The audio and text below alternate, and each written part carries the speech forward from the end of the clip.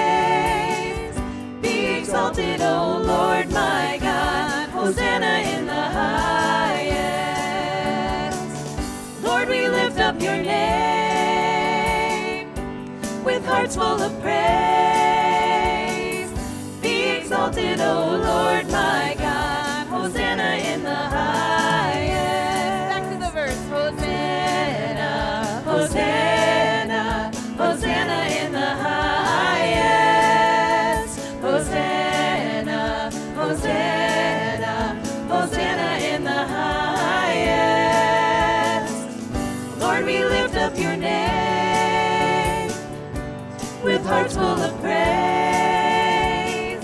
Be exalted, O Lord my God. Hosanna in the highest. Lord, we lift up your name with hearts full of praise.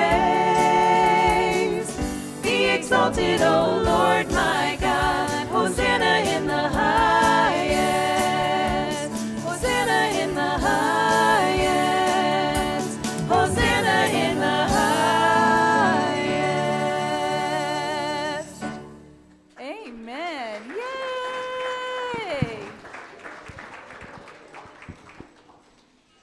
great to have the kids join in this morning by waving the palm branches. And I pray that all of us are in our minds waving the palm branch in praise to the Lord and for what he has done.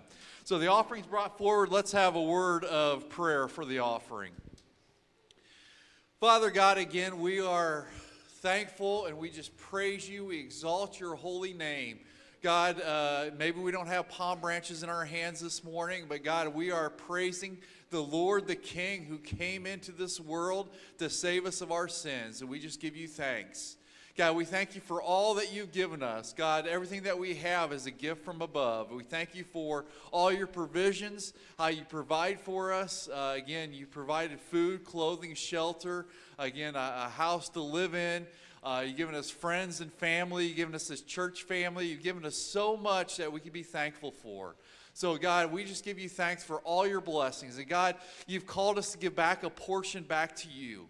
And so, God, that's what we want to do is give back our offering back to you, our tithes and our offerings, our 10% and beyond. God, we want to give back to you and just uh, say thank you for all that you've given. And God, we pray that your kingdom would be furthered uh, here in Bremen and all around the world. So, God, we want your name to be glorified, that your will be done here on earth as it is in heaven. So, God, just take these offerings and multiply them for your kingdom's use. We pray this in the name of Jesus, our Savior. Amen. Okay, at this time, uh, I have a few announcements I want to share with you. Tonight, we do have a service tonight. We have our uh, missionary speaker coming in, Darren and uh, Laura Arnott. Uh, they're here to share with us their ministry, so that's at 6 p.m. tonight. Uh, our regular service on Wednesday night, we have our pre-service meal at 5:30, and then uh, pre, yeah, pre-service meal at 5:30, and our Bible studies at 6:30. Please find a Bible study and come and enjoy that time together around the Word. Thursday night is our prayer nights. Again, it's always good to have people come and join in prayer uh, to our Lord. Uh, mission focus of the month. Each, each month we have a different mission focus. This month is Prairie Camp. Uh, again, think about uh, you kids, uh, parents that have kids. Uh, get them signed up for Prairie Camp this summer. Uh, there is a scholarship available through the men's group. So you can talk with Troy if you desire for your kids to go to Prairie Camp. But if you would like to give towards Prairie Camp, you can mark Prairie Camp and put it in the offering. And you notice that our Easter services, Easter is coming up this week. This is Holy Week as we uh, come into Palm Sunday. Um, we have a Good Friday service at uh, 7 p.m. on Friday. Um, we ha- have communion will be served that night.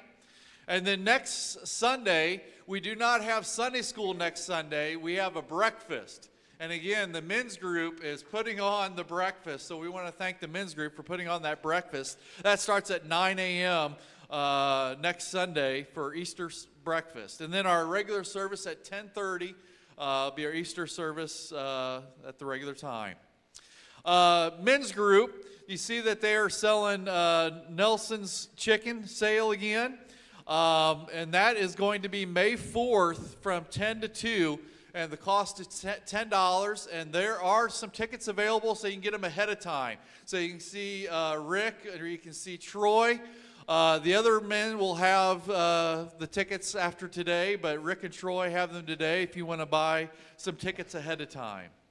Um, at this time, let's go to the Lord in prayer. Let's pray together. God, again, we thank you for your great love for us. God, as we celebrate what you did for us, uh, as we celebrate this week of Easter, we celebrate this week of Good Friday, of how you're willing to die a cruel and horrible death upon the cross for us. God, you didn't need to die. You didn't have to die. You, you could have stayed up in heaven and had eternity up in heaven. But you chose, you chose to come and die upon the cross so that we could be with you for all eternity. God, we needed you to come, and you did come. And you gave us uh, the greatest gift of all, dying upon the cross. And so, God, we just pray that each one would receive that gift that you have given, that they would know that uh, you died for them personally, and that all they need to do is repent of their sins and turn to you and receive the salvation that's given to them through Christ Jesus our Lord. God, we thank you that, that your death was not the end. We thank you that you conquered the grave. So, God, we know that when we die, we will not remain in the grave. We have conquered death through you. That through you, since you have life, we too will have life. And so, God, I thank you. The scripture is very clear on that. If we're uh, united with him like this in his death, we'll certainly also be united with him in his resurrection. So I thank you for the resurrection that we have through Christ Jesus our Lord. God, and it's not just a resurrection uh, in the future that we have, but it's a new life. It's a resurrection that we have right now, that we have new life in Christ Jesus. We are new people, we are a new creation. And God, help us to live in that abundance that you have provided for us, all the blessings that we have in Jesus, the Holy Spirit that's at work in our midst. God, we uh, uh, want to think of people who are hurting and suffering uh, in our midst. God, I think of uh, Linda Arthur Holtz, especially right now, as uh, she fell and uh, fractured a bone in a couple different places, and, and, and also is going to have to put in a pacemaker to help her with her heart. God, we just pray for Linda right now. We pray for her and any pain that she's experiencing right now. We just pray that you would touch her and just uh, bring healing upon those bones. Uh, we just pray for her surgery that she's going to have tomorrow for the pacemaker. God, we just pray that that surgery goes be successful and that she would have more energy because of that pacemaker being put in. God, we thank you for the healing upon her body. And God, I pray for any needs that are that we have in our church body here today, whether that's financial needs, whether it's relational needs, uh, physical needs, whatever it may be, Lord God, I just pray that you would minister and work in that. And God, help people to stop and see and say, man, I see the Lord is at work in my situation. Thank you that you never leave us or forsake us, but you're always present. God, just be with the rest of our service. Let us bring our praise and let it be worship. Let it be uh, pleasing and, and uh, pleasing in your sight, Lord. We just pray all this in the name of Jesus, our Savior. Amen. Amen. Well, as the lights come down, would you stand up and we are going to uh, worship together this morning?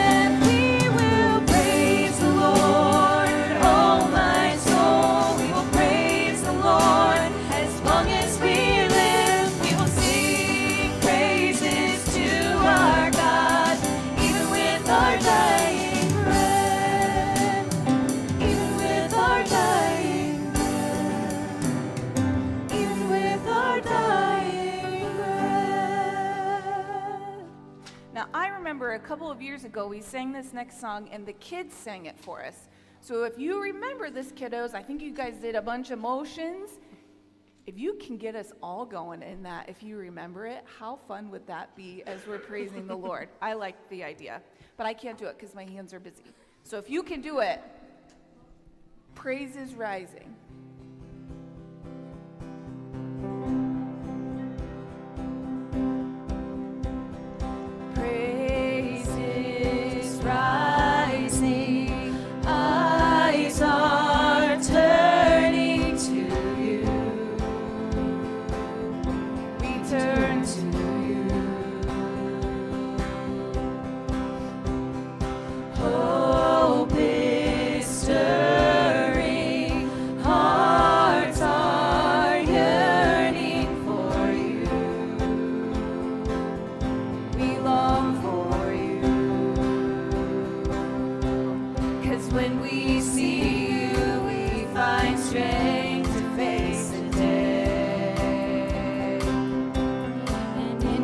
presence all our fears are won.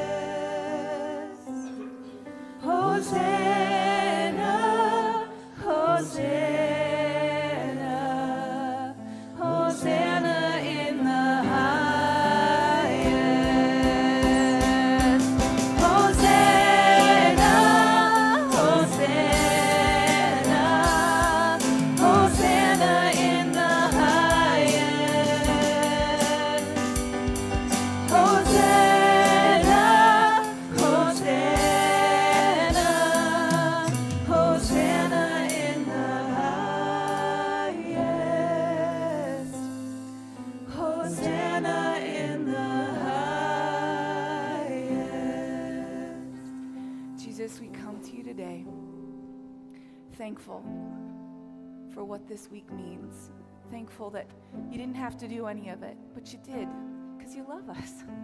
And what a beautiful gift that is. As we reflect um, on this holy week, Lord, we just pray that we would remember who you are and what you've done for us and what that means for our eternity, what that means for us here on earth, Lord. You came so that we would have life and that we would have it abundantly. Lord, that's why you came you came to save the lost. So would you teach us this week? Would you remind us um, of, of what, what we're to have here on earth, not only uh, that, but, but what we have in eternity with you?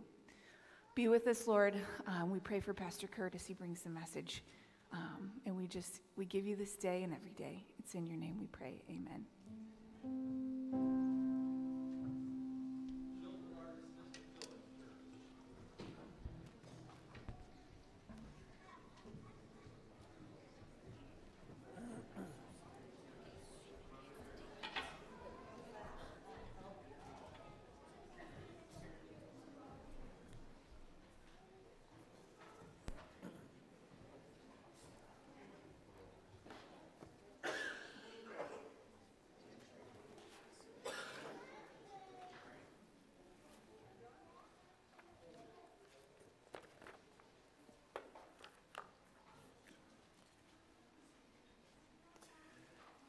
Again, it's good to see so many kids filing out of here. It's uh, having a lot of kids in our midst, so it's so great. Turn with me, if you would, to uh, John chapter 15. That's where we're going to be looking here today. John 15. Today we celebrate what we know as Palm Sunday, the day that Jesus rides into Jerusalem on a donkey to fulfill this Old Testament prophecy that the king is going to come gentle and humble, riding on a donkey, bringing salvation. This kicks off what we know as Holy Week. Starts with the praises of the people as he rides into Jerusalem, and it ends with the resurrection of Jesus Christ from the dead. With a lot that happens in between. Uh, we think about Jesus who died upon the cross on uh, the Friday. Uh, Jesus knew he was going to be crucified uh, on the cross. And so today, what I want to look at is some words that he had the night before he was going to be crucified on the cross. Now, it's the night before he's going to be crucified on the cross, so it's not time to talk about how nice the weather is outside or this or that or the other. It's time to talk about some serious things. So, we're going to look at this is Jesus leaving some teachings with the disciples that they're really going to need in the next 72 hours. And so let's look at John 15, 1 through 8. Jesus says this I am the true vine, and my Father is the gardener.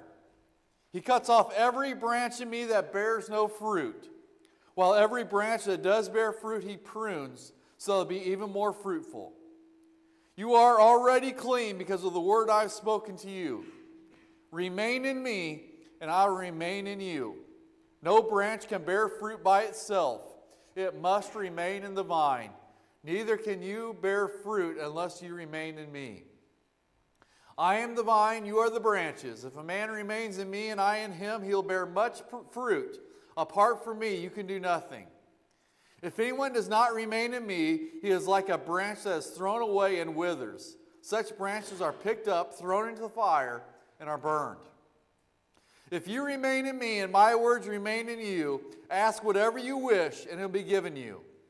This is to my Father's glory, that you bear much fruit, showing yourself to be my disciples. I'm going to stop right there. And the first thing that we need to see here this morning is we need to remain in Jesus to have life. We need to remain in Jesus to have life. These verses really come to light when you think of the context that it's in. Again, like I said, this is the last night before Jesus was going to go to the cross. He just enjoyed the Passover meal with his disciples. He washed their feet. He led them in the Lord's Supper with the the uh, bread and the, and the wine. And the last sentence in verse 14 says, Come now, let us leave. They're leaving the upper room and they were heading off to Garden of Gethsemane where he was going to pray. He was going to spend some time in prayer. And this is the place where he was going to be arrested. And as they walk from the upper room and they're going to the Garden of Gethsemane, obviously they're probably going to see some vines there and these vines would no doubt uh, begin to blossom. And the object lesson was right in front of the disciples to see. Jesus was very good at painting this mental picture in people's minds, and them seeing these vines with fruit would be another way. The theme of this passage jumps out at you. I don't know if you heard it as I read, but the remain in me. Jesus says that four times, only in eight verses. Four times he says, remain in me. He, words, he uses the word remain six times. And if you read on in this passage, he says it several more times. So, why is Jesus stressing, remain in me? Why is he, why is he stressing that so much? Because this was the message that the disciples really needed to hear. Within a couple hours, Jesus would be taken from them, and they would have to choose whether or not they're going to follow Jesus or they're going to run away. This night, this weekend was a critical point for the disciples to choose. Judas, Judas didn't choose to remain in Jesus. Judas uh, went for the things of the world instead of remaining in Jesus. He sold Jesus for 30 silver coins. And the disciples were all faced with a choice when Jesus was arrested, but they all ran away from Jesus when he was being arrested. And Peter had a choice to remain in Jesus, yet he confessed three times. He says, I don't even know the man. I don't even know who you're talking about. Who is this Jesus? Are they remaining in him? It didn't look like that they were doing a very good job remaining in him. And the question I have for you today is how are you doing in remaining in Jesus? This teaching of remaining in him Every day we have so many choices of following Jesus or following this world, following the material possessions, following this relationship. We can choose Jesus or choose all these material possessions. Possessions. We can choose Jesus or we can choose this bad relationship I know is not good for me. The disciples, they didn't know what they were going to face later that night. They had no clue that Jesus was going to be arrested that night. It surprised them. You know what? Neither do we know what's going to happen later today or tomorrow or th- later this week. We do not know. We might be facing some tough, difficult situations in our lives in the next little bit. But Jesus tells us in Matthew 26 41, he says this Watch and pray so that you will not fall into temptation. The spirit is willing, but the body is weak. Jesus seems to be telling us that we need to prepare ourselves for things that are going to happen in our lives. We need to build our faith in Him, and then I'll be strong enough to, to handle whatever the world throws at me. So Jesus is crying out to us today remain in me. Don't be fooled. You're going to have difficult times in your lives. Don't let them get the best of you. Strengthen your faith in me now so that this world, when it tries to tear you down, you'll be strong in me. If we do not remain in him and do not have strength, do not strengthen our faith, we will not be ready for the trials that come our way. The disciples, they had a couple bad days of Jesus being in the tomb. They ran away from Jesus, Jesus being in the tomb, his uh, death and burial. But they did turn back to, Jesus and they were willing to follow Jesus. And they were willing to die for him. They were willing to do that because they had a strong relationship with Jesus. Maybe a few people here today, maybe there's some people here today that have strayed a little bit in their walk with the Lord. Things have come up in your life and you've been hiding out doing other things. Now is the time to turn back and live for Jesus. Get back to remaining in Him. Verse 5 says here, I am the vine, you are the branches. If a man remains in me and I in him, he'll bear much fruit. Apart from me, you can do nothing. Jesus is the vine. We are the branches. We all know that a branch has to remain in the vine to stay alive. If it's cut away, if you separate the branch from the vine, it's going to die.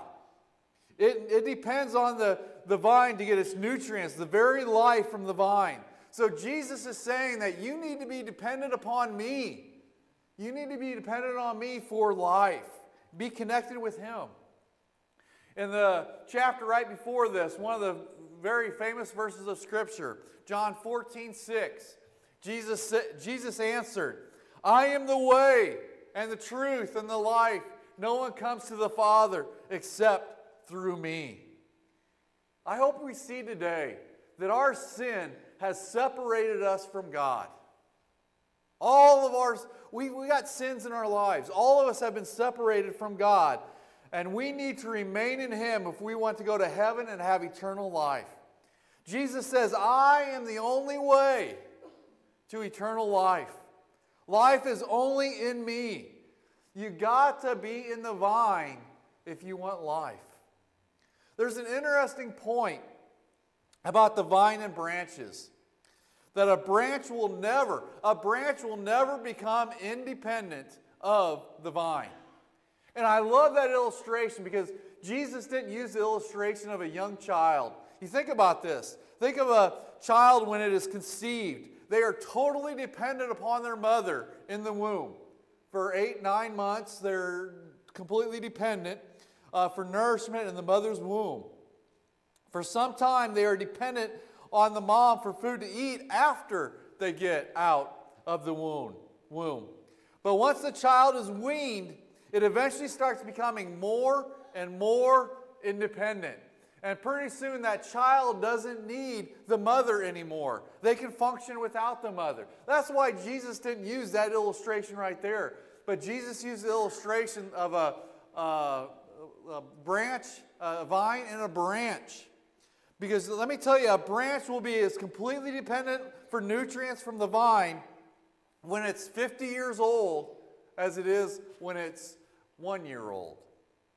The branch always, the branch always needs the vine. Just like we will always, we will always need Jesus. There won't be a time where we'll grow out of that. Oh, I've been a Christian for 50 years, so I guess I don't need Jesus as much anymore. No, we're always going to need Jesus. Jesus makes it very clear that life is in Him and Him alone. You can't substitute anything for the vine. You got to have the vine. There's no substitute for being connected to Jesus. If you are not connected to Jesus, look at what happens. Verse 6 here. If anyone does not remain in me, he is like a branch that is thrown away and withers. Such branches are picked up, thrown into the fire, and burned. That right there is not a pretty picture. This is a picture of hell. And I know people don't want to talk about hell anymore. We don't want to say anything about that. But hell is real. And if we do not bear fruit for God, we are going to be thrown in to hell. I think this is a very big warning for us that are not bearing fruit, but we're just kind of playing religion. We're just kind of playing religion. That's what we do. But Jesus, over and over again, accused the Pharisees, the religious leaders, of just being religious but not bearing any fruit, not turning to Him. These people were in the temple all the times. They were reading their Bibles. They gave the required money, but they didn't have a change of attitude in their lives. The question is do we have a change of attitude in our life? We need to develop a love for God, not a I know God exists kind of a thing, but a love for God in our lives. We need to, to, to commune with God daily. Jesus says we're to remain in Him. You are in me now. That's what he's saying is you guys are in me now. Remain in me. Jesus is giving us a picture that he is the main thing, the main ingredient. You can't make anything without this main ingredient. Our lives are nothing if we don't have Jesus in them. Verse 4 says, No branch can bear fruit by itself, it must remain in the vine. Neither can you bear fruit unless you remain in me. And it goes on in the end of verse 5 again, it says, Apart from me, you can do nothing.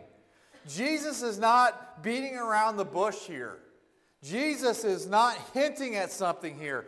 Jesus comes flat out and he says, If you want eternal life, if you want life, you want a fruitful life here on earth, you have to remain in me.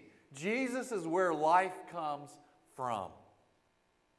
Have you ever turned on a faucet and you're holding the hose and no water comes out of it, only to see that the hose is not hooked up to the faucet?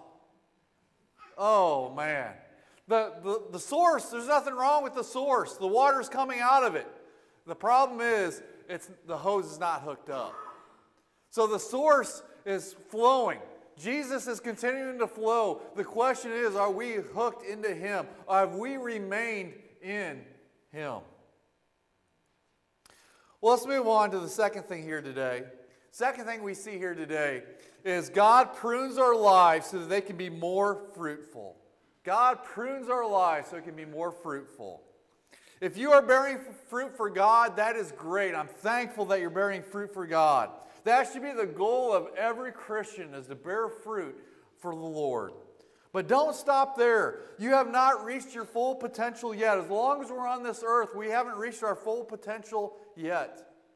Christians are often too satisfied with bearing some fruit and not continue to, to uh, think about the potential that they do have. Verse 2 says, He cuts off every branch in me that bears no fruit, while every branch that does bear fruit, He prunes so it'll be even more fruitful. You know, I wish this wasn't the case, but we carry over into our Christian lives a lot of our old life uh, that is not very Christ like into our Christian lives.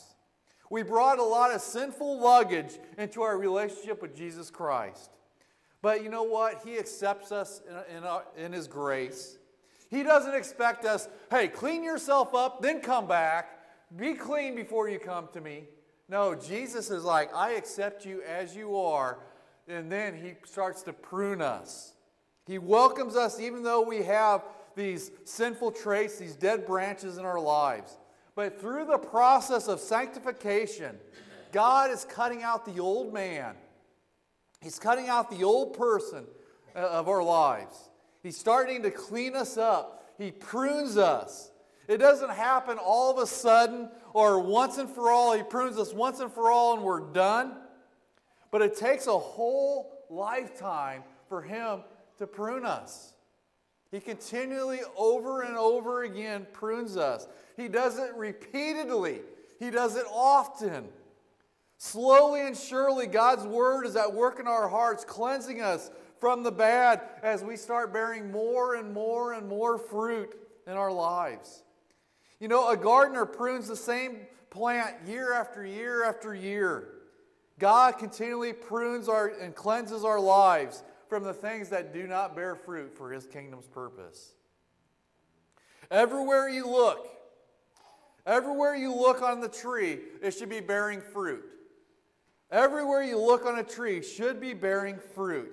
If one side of the tree is bearing fruit and another side is not bearing fruit, there's a problem. Every branch should be bearing fruit.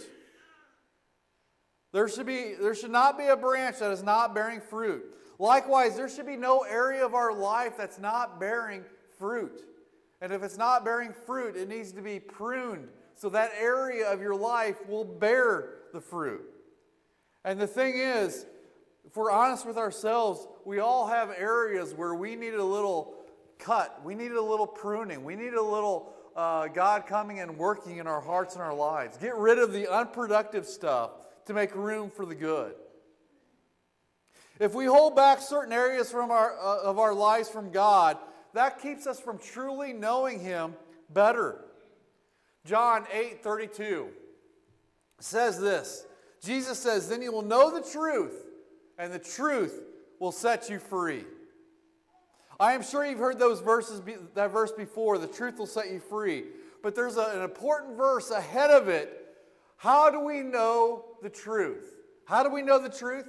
Uh, verse 31, right before that one, it says, To the Jews who believed him, Jesus said, If, if you hold to my teaching, you are really my disciples. Do you hear that? If, if you hold to my teaching, then, then you will know the truth, and the truth will set you free. It's this if and then statement. If you hold to my teachings, then you will know the truth. You will experience the freedom. We are to hold to his teachings first, and then we experience the freedom. We would like it the other way around to experience freedom first, and then it would be easier to obey him. Some of us have accepted Jesus into our lives, and he's brought us freedom uh, in different areas of our lives, but we are still bound to sin in other areas of our lives. Certain areas of our lives, we are still not ready to give control back to God. We still hold on to what we think is best. God wants to come and take these bad habits out of our lives and replace them with good habits. He wants to prune us, He wants to set us free to become more healthier and more fruitful. You know, I want you to see God doesn't prune us to hurt us. God prunes us to help us so we can bear more fruit. His word seems hard to follow, but He definitely knows the best design for our lives. You know, we can hold tightly to some things in our lives because we think that we are wiser and that we know better than God.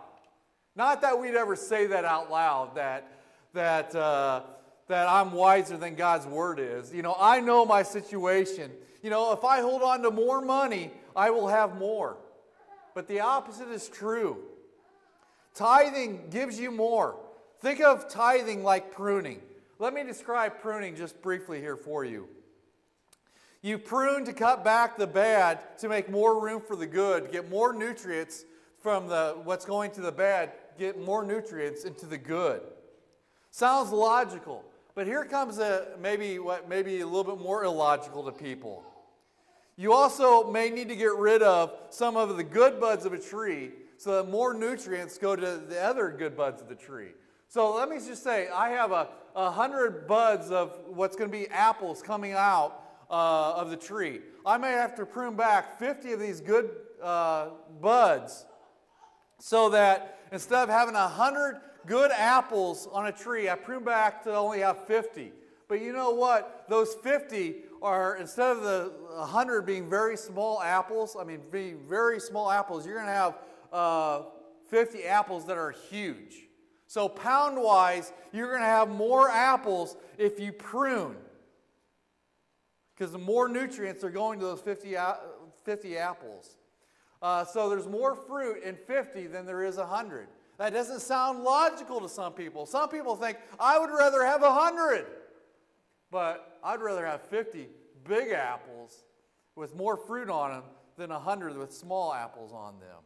That, you know, so again, to, to most people, 100 apples sounds far better than 50 apples. That's because you don't understand the principle of pruning. Once I understand the, about the principle of pruning, I'm willing to do it. If I don't understand the principle of pruning, I will hold as many apples as I can because I want many apples. I don't think we Christians understand how God wants to prune us. What seems illogical to us, God takes and prunes so there'll be even more fruit that comes into our lives. Being willing to sacrifice and go for big fruit in your life.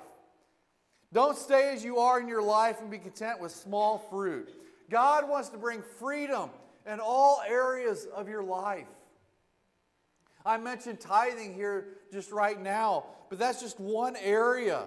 There may be things in your life that are not necessarily bad, but God wants to come and prune and just make a uh, just make room for other things in your life. Every branch has stuff that needs to go.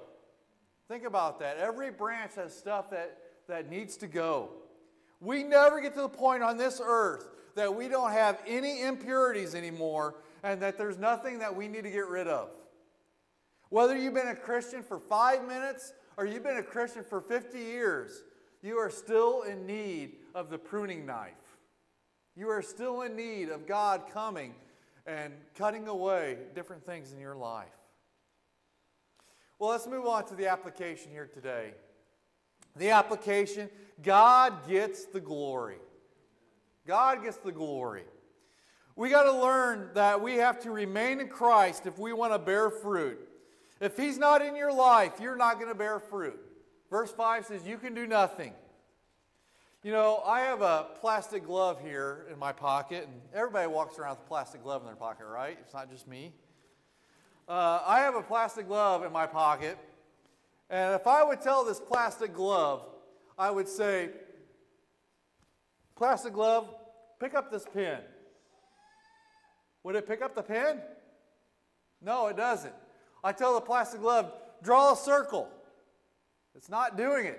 I tell the plastic glove to wave to the crowd. Wave to the crowd. It doesn't do it. It's not happening.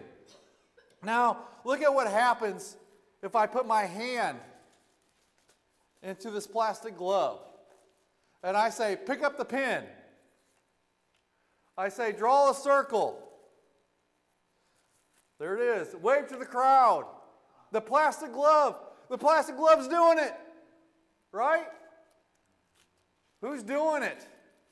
It's my hand in the plastic glove that's doing it. Now, I take the plastic glove off again. I say, now do those things again. It's not doing it. So, who gets the glory for doing those things? Is it the glove that gets the glory for waving and doing it? No. What gets the glory is the hand that was in it. And that's the same thing in our lives is God's hand. We're the plastic glove. We are, we are useless. We, we, we can't do anything of eternal value without his hand being in us and directing us in that. And so we get, so who gets the credit for it? It's God's hand in us as we're doing good works for the Lord. Verse 8 says, This is to my Father's glory that you bear much fruit, showing yourself to be my disciples. The glory goes to God when we bear fruit and do things for his kingdom. If you hear a good sermon, the pastor doesn't get the glory. The glory goes to God because you are going out and putting into practice the word that was preached. Some may think that bearing fruit is hard, that only super Christians can bear fruit. But there's nothing farther from the truth. Bearing fruit is not hard, it's not for super Christians, it's for each and every person. All that a tree, all the branch has to do is to remain in the vine and it will bear fruit. Same way with us. The only requirement for a branch is to remain connected to the vine. We must stay connected to our vine, read the word, and be in prayer, and the fruit of God will be undoubtedly displayed in our lives. Let me give you an example that kind of puts you uh, in God's shoes for a second. Say you planted a, a bunch of tomato plants, and you go, you go out there and you're anxious to get tomatoes off these tomato plants, and you go out there and all you see is beautiful green tomato plants, but no tomatoes on there. Will that satisfy you? Wow, I grew a bunch of beautiful green tomato plants. I am so glad. I doubt that's going to be what you think. You didn't plant the tomato plants to get the plant, but to get to fruit.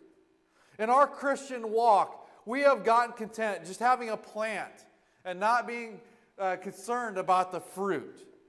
Are we content just coming to church? Are we content uh, just listening to the Christian radio station, but, not, but making no behavioral changes in our lives? That we have this plant but we have no fruit that comes from that. If you are not bearing fruit, you're not doing what you are called to be doing. Uh, Luke 13, 6 through 8. Then Jesus told this parable A man had a fig tree planted in his vineyard, and he went to look for fruit on it, but did not find any. So he said to the man who took care of the vineyard, for three years now, I've been coming to look for fruit on this fig tree and haven't found any. Cut it down. Why should it use up the soil? Sir, the man replied, Leave it alone for one more year, and I'll dig around it and fertilize it. If it bears fruit next year, fine. If not, cut it down. So the guy was looking for fruit on the fruit tree. God doesn't want a Christian in name only. He wants us he wants one that is out there remaining in him and bearing fruit for his kingdom. When God comes to look for fruit in your life, does he find any fruit in your life? Again, tomato plants are useless if they don't have tomatoes on them. This glove is useless if it doesn't have a hand inside of it. Christians are useless if they are not bearing Christ like fruit in their lives. You know, this sermon is about spending time with God, remaining in Him. There should be a hunger inside of us to be with God. The psalmist in 16:2, Psalm 16:2 says, "I said to the Lord, you are my Lord. Apart from you, I have no good thing." He says, "I need you." We will not bear fruit in our lives if we do not spend time with God. We need to set apart time for God. We often are very busy in our lives and we say, you know what? I will spend time with God when I get around to it. But how often we don't get around to it. We need to set time aside and say, I am going to spend time with God. We should develop such a relationship with Jesus that we would miss our time if we didn't get to spend it time with Him. When we love someone, we want to spend time with them. Do we love the Lord Jesus Christ? Do we want to spend time with Him? We need to rekindle that love that we have for our Lord. We need to rekindle that. There's a quote that I saw one time that said, Even if Jesus was born a thousand times in Bethlehem, if he hasn't been born in me, I'm still lost. I love that quote. Jesus could have been born a thousand times in Bethlehem. If he hasn't been born in me, I am lost. The fact that Jesus came to the earth does us no good if we do not embrace the truth and live in it. We need to receive the relationship that he desires us to have with him. Without him, we are nothing and we can do nothing. Let me read verse 5 again. Jesus says, I am the vine, you are the branches. If a man remains in me and I in him, he'll bear much fruit. Apart from me, you can do nothing. So, is it possible to remain in him and at the same time, him to remain in us? Several years ago, there was a blacksmith giving his testimony to a man who was at his shop. He ended by saying, I'm so glad that Christ is in me and I, in I am in him. The next day, the, the guy came back to the blacksmith shop and said, I've been thinking. I don't think it's possible for you to be in Christ and for Christ to be in you at the same time. At that time, the blacksmith had a horseshoe in the fire, and he asked the man, Is the horseshoe in the fire? And the man said, Yes, the horseshoe is in the fire. Then the blacksmith took the horseshoe out, and you could tell it was all red, and uh, there was, and the man held it up again. He said, Is the horseshoe in the fire or is the fire in the horseshoe? And the man was like, Oh, I see the fire's in the horseshoe now. He made his point. The horseshoe was affected by the fire as it sat in the fire for some time. The fire remained in the horseshoe. Do you think that horseshoe would have fire if the blacksmith only put it in for one second and pulled it out? It wouldn't have it wouldn't have the fire in that horseshoe. Same way with our lives. How often do we think about, oh, I come to church? We give one hour of our whole week to church. If we do that, and we want Christ to dwell in us. We spend time with Christ, it affects us. And the Old Testament is the story of Moses spending time. Uh, in Exodus 34 29, it says this when Moses came down from Mount Sinai with the two, two tablets of the testimony in his hands, he was not aware that his face was radiant because he had spoken with the Lord. Do you understand that, G- that Moses spent time with the Lord, and he spent so much time with the Lord that he came down and his face showed that he spent time with the Lord? This happened many times. Each time Moses spoke with the Lord, his face would become radiant. The people knew without a shadow of a doubt that Moses had been with God. And you know what? It should be the same way in our lives. When we spend time with God, people should be able to tell we've been with God because it changes us, it changes who we are. People should be able to tell that we are different. We are not lifeless. We're not lifeless like this glove or a branch, but we bear much fruit for God. We display the fruit of the Spirit in our lives. We have love, joy, peace, patience, kindness, goodness, faithfulness, gentleness, and self control. We have those in our lives. Our lives are radiating in this dark world. So I wanted you to go back to this horse sto- uh, horseshoe story I told.